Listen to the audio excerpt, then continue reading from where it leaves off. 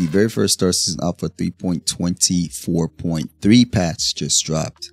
Let's see what's in it. Before we get into this video, I'd like to let y'all know that I'm doing a giveaway for an LTI Argo ATLS. In order to participate, all you have to do is be subscribed and leave a comment in any video between now and the end of December. Alright guys, so this one, CIG intends to do the global event, the uh, Save Stanton event. So you can expect to see up to the first three phases um, going active shortly after the patch goes live, which has been probably one or two hours. And it, it says they're going to be running it um, overnight as well. So so um, make sure to go out and test that. This one has an update for Core Tech. Uh, it says graphics settings update. It says borderless mode has not been renamed to full screen. Selected resolution in this mode causes the game to render in this resolution, but the window always stays full screen. This now works with DSR higher resolution as well as lower resolutions and can be combined with temporal upscaling. Something like the console and the UI will always be rendered in the native full screen resolution.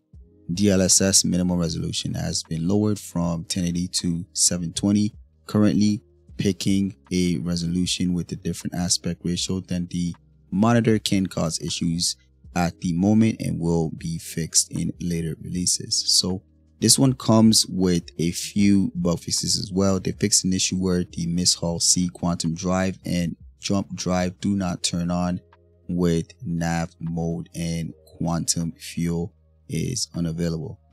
Jump drive. They have the jump drive mechanics in this already. Interesting.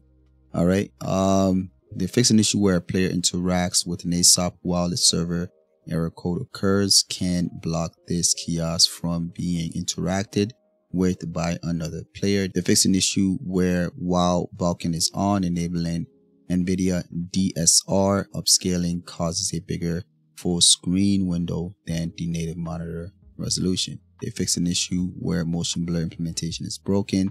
They fix an issue where Hurston Dynamics attrition series does not fire or causes damage. Finally, they fix an issue where a remote turret can be equipped to weapon slots that are not meant to be. So now this is in Arena Commander for multiple vehicles. To fix an issue where ejecting in Arena Commander match doesn't count towards that count and doesn't give a score penalty.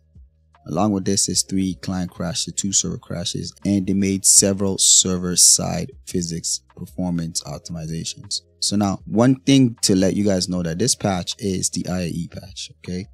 And um, in this patch, CIG has not released the vehicles yet, nor the expo. So it seems um, that in the later build, we'll probably start seeing these ships um, come in and cycle through just to test IAE. So we may see some of the surprise ships that we're expecting.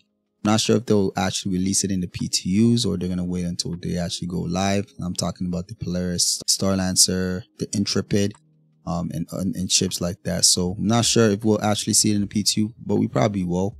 And also, um, I heard that it's possible that we may see a concept ship from Anvil, which is going to be interesting. All right. So before I let you go, I'd like to let y'all know that my organization, Phase One Industries, is now recruiting new and veteran players. If you're interested, you can find our Discord in the description down below. Don't forget to leave a like, subscribe. I'll catch you guys on the next one.